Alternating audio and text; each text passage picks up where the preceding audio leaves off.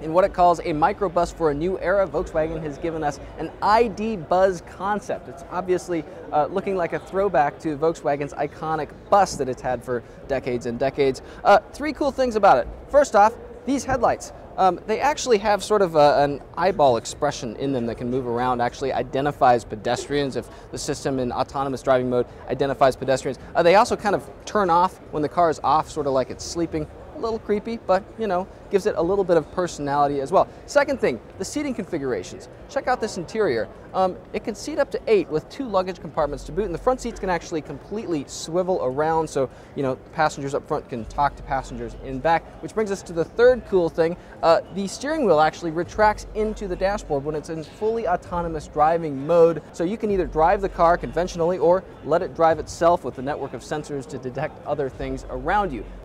So the question is, will Volkswagen ever build one of these things? Well, we've been in this business for a while and Volkswagen keeps occasionally bringing out some kind of throwback concept to its bus. So time will tell. We'll have to wait and see.